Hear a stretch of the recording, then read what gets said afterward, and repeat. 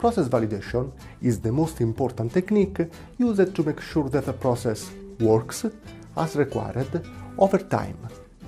It is used, to mention a few, in quality assurance, ISO 9001, Six Sigma, process control, and in many fields like automotive, aerospace, medical, pharmaceutical.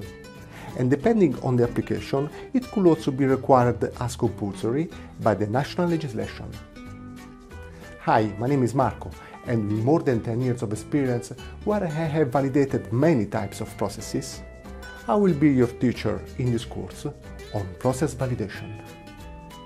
This course is for beginners and you will learn the essential concepts and methodologies of this technique, when it is required, recommended or just an option, and how it is performed.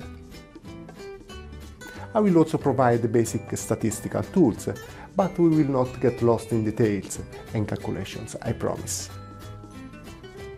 Virtually, there is no limitation to the types of processes to which it can be applied, from chemical and manufacturing to service delivering processes like surgery. Therefore, every manager and engineer who plan a career advancement and a higher salary needs at least to know its basic concepts and activities. And for this purpose, this course will be time well spent. Let's get started today.